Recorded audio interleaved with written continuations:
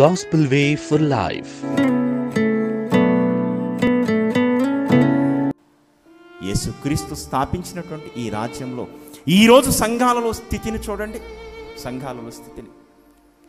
అప్పుడప్పుడు సంఘాలలో గొడవలు కనపడుతుంటున్నప్పుడు అసలు మనం ఏం మారాం? భద్రాచలం పరిసర ప్రాంతాల్లో ఓ పాస్టర్ గారిని సంఘములో ఒక వ్యక్తి ఈ మైక్రోఫోన్తో కొట్టితే తల మీద బ్లడ్ ఇలా మా కారుతూ క్యాషిక్ తడుపుకుంటూ వెళ్ళిపోతున్నప్పుడు ఒక సేవకుడి మీదనే చెయ్యి చేసుకునే ఆ క్రూరత్వం నీకుందంటే అసలు మారావా? మారావా? ఏం జరుగుతుంది చెప్పండి దేవుని వాళ్ళరా సేవకుల మీద దాడి చేసే విశ్వాసులు కనపడుతున్నప్పుడు ఇది ఎంత ప్రమాదం? ఎంత ప్రమాదం ఇది?